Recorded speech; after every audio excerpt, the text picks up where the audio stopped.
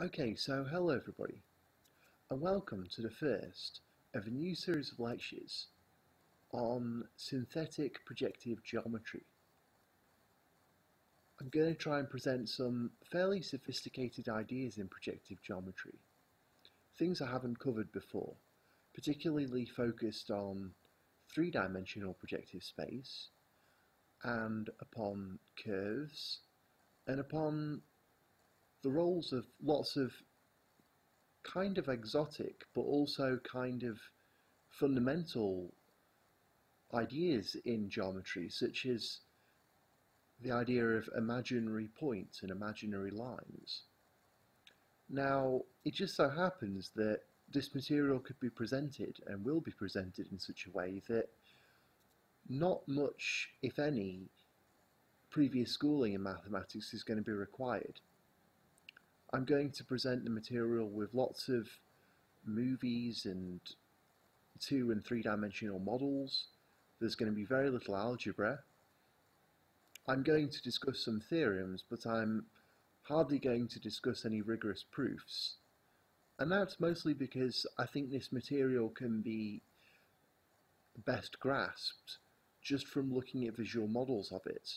Now, I'm well aware that some people like to see a very rigorous approach, and I have done a coverage of two-dimensional projective geometry with such an approach, but in this course we're going to move on to cover subjects which haven't really seen a lot of study. Some of them are going to be completely new.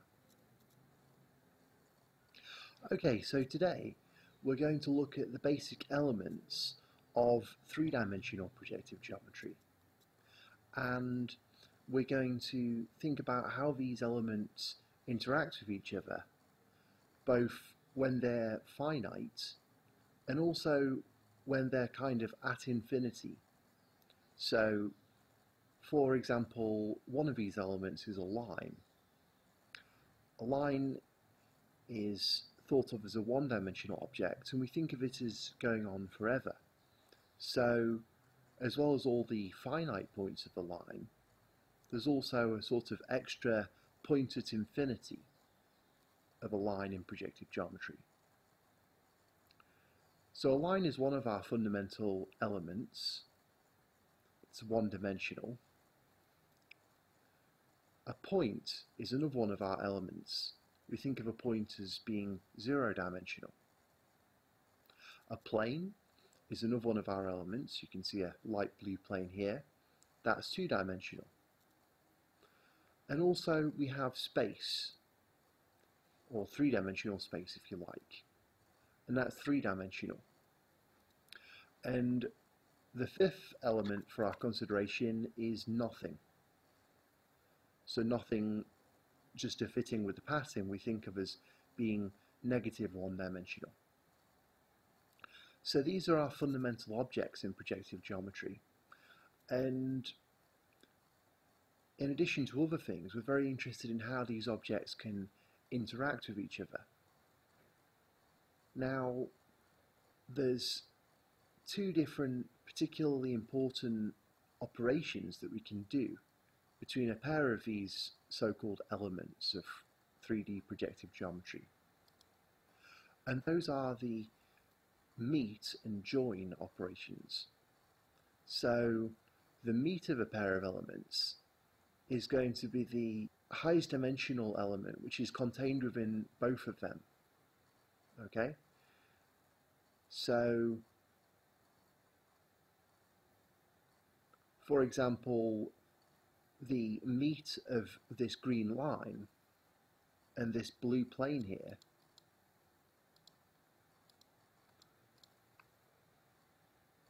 is going to be this point here, which I've just added, this purple point. That's where these two elements meet. That's their meet. Because this is the highest dimensional object which is contained within both of them. Okay, so the other idea is the join of two elements, and that's the lowest dimensional element that contains both of them. So, for example, the join of these two pink points here is this red line that goes through both of them. And now you can probably see why nothing is considered an element. I mean, the red line and the green line, they don't meet, so their meet is nothing, which is an element as well. So, in order for these two operations to always return another element, we need to include the idea of elements at infinity. So we're going to think of points at infinity, lines at infinity, and even planes at infinity. Okay then, so what we're going to do now is take a look at a two-dimensional view. In other words, we're going to confine our attention to the plane and we're going to look at a few different things about sort of similarities between points and lines and also the role of points at infinity on a plane. So you can see here a fairly simple diagram where we've got a red line which is almost horizontal and we've also got a line which is going through a black point and I'm rotating this blue line around and marking the place where these two lines intersect each other with this green point here. That's their meet. So from this there are quite a few things that should be evident to you. One is that there's a fairly deep, although easy to see correspondence between the set of all points on the red line, which is kind of represented by the animation of this green point here, and also between the set of lines through the black point. So, in some sense, which I shall make more kind of clear later, the set of all lines for a point is very similar to the set of all points upon a line. Now, another interesting thing to notice is that the the set of all points on the line seems to have almost a kind of cyclic nature to it. I mean, we see this line spinning around the point, and that obviously has a kind of cyclic nature to it, in the sense that this line continues to rotate round and ends up in a similar position to where it started from after half a rotation. Also, this point continues to move to the right, and yet somehow it seems to sort of go off to infinity and then return to where it came from, even though it's always moving in the same direction. And so, I think perhaps the most profound thing that this simple little movie shows is what happens when these two lines become parallel to each other.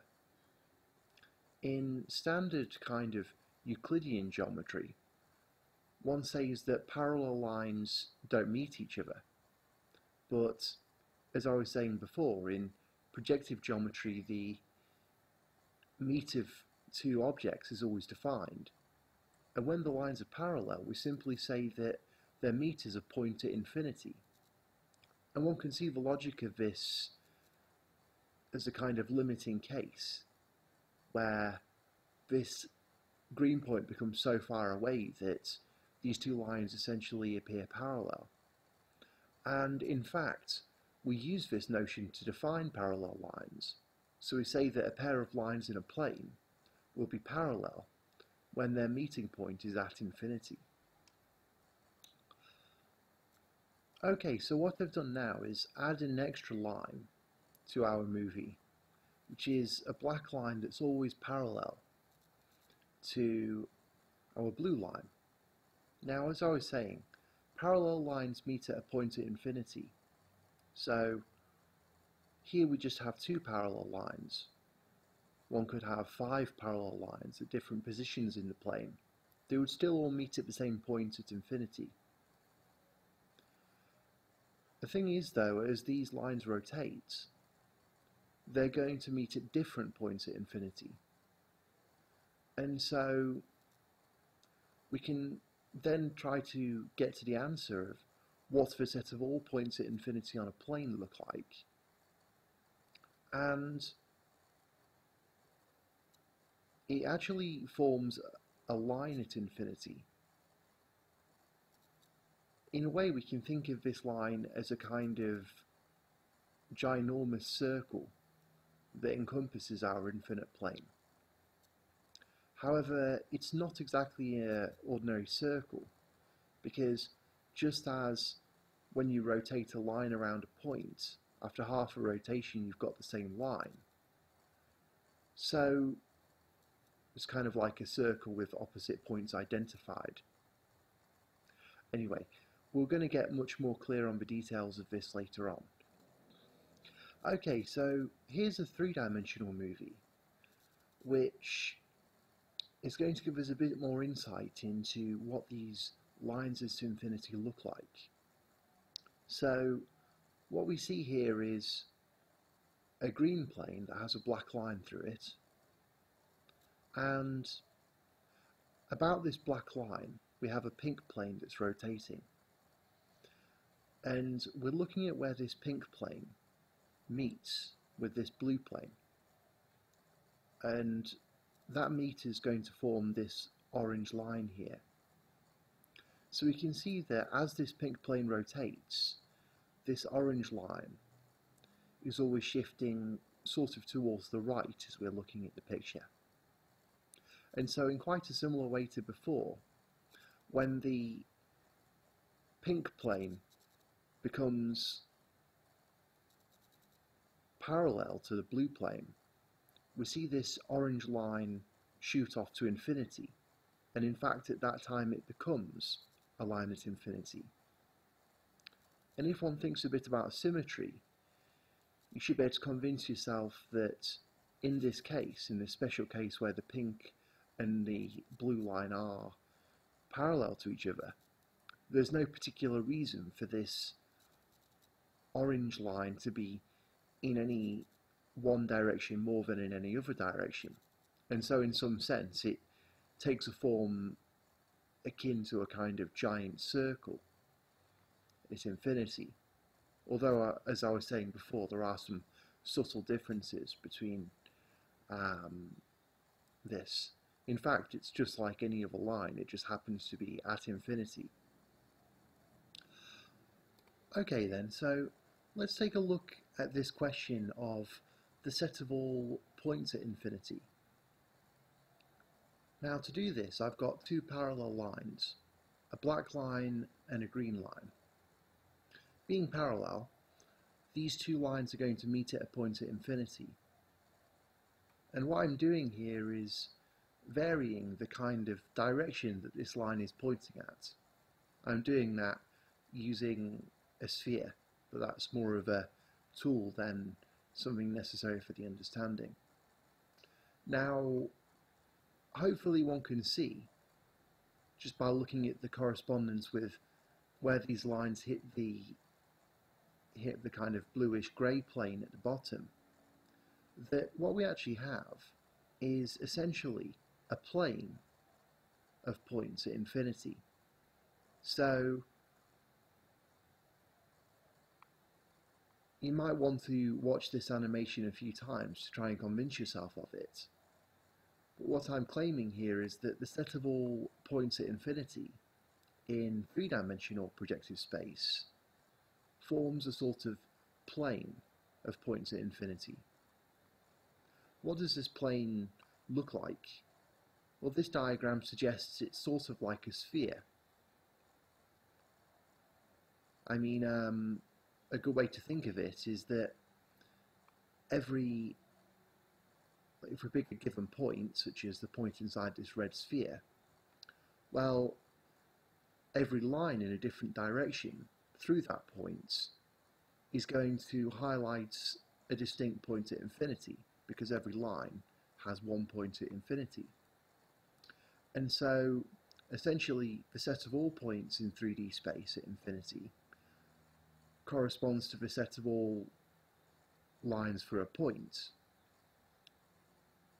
And this animation suggests that that has a sort of similar character to a sphere. Perhaps we could think of it as a sort of infinite sphere, a little bit like the kind of sphere of stars we see up in the sky above the Earth. But essentially it's not exactly like a sphere because opposite points in this animation on, on the red sphere, antipodal points on the sphere, create the same line. So in a way we can sort of think of this infinite plane as a sort of infinite sphere with opposite points identified in some sense. Okay, so let me just finish by giving you an exercise to work on to help understand these topics more deeply.